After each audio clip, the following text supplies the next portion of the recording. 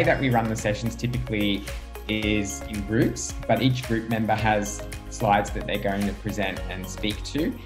So obviously, first and foremost, our priority is around wildlife rescue. Just to pull out some key themes, and um, we bucketed them into some business motivators and drivers. And also allowing to respond to more requests. So Kind Kelly has, she's never heard of wires. However, she notices a rainbow lorikeet that doesn't look like it's in a good way. To quickly and easily get help, feel empowered to take action. Current data and statistics and further information. How might we create a better and measurable way for people throughout Australia who may or may not know about wires? What plans do you have in place for ensuring they're going to be handled well?